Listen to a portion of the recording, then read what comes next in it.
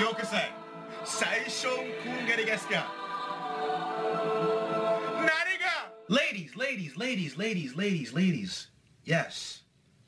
I am single. Now, I've been watching quite a bit of anime lately, and I don't know if it's because the ones that I watch, why I've started to notice this, but oh my god, there are so many cliches. It's it's ridiculous how many things you can point out just by watching one anime. Here are some cliche elements I see all the time. Number one, it's too dramatic. I understand the characters have to be dramatic because it makes the story that much more interesting. But come on. Really, guys? You're overdoing it now. I won't stop. I'll never give up. I will get stronger. I will defeat you. I'll show you the full extent of my power and avenge my family. you bastard! Ah!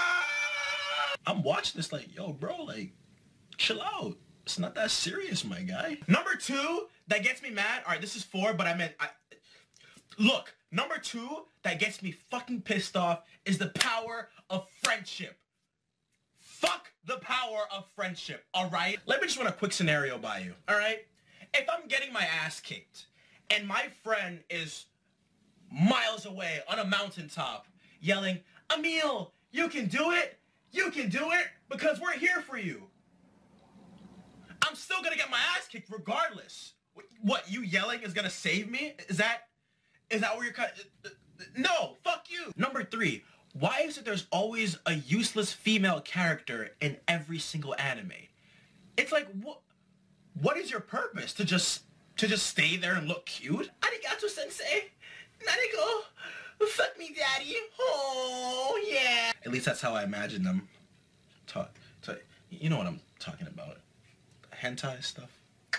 Yeah, yeah, I know, I know what you like, sexy. Number four, that really just grinds my gears, alright? It just, it just fucking grinds my gears.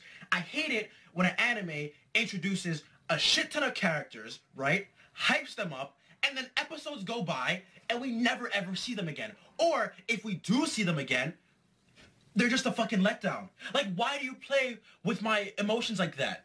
Alright? Because I am not someone to be fucked with.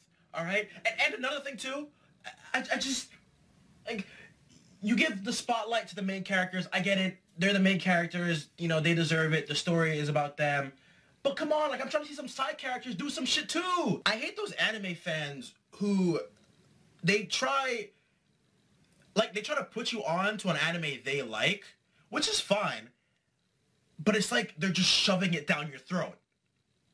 Pause. What do you mean you never see My Hero Academia, Amiel? You're fucking stupid? What is wrong with you? Dude, chill out. I, I'm watching like three other animes right now. Just, you know, let me, just let me do my thing. Like, calm down.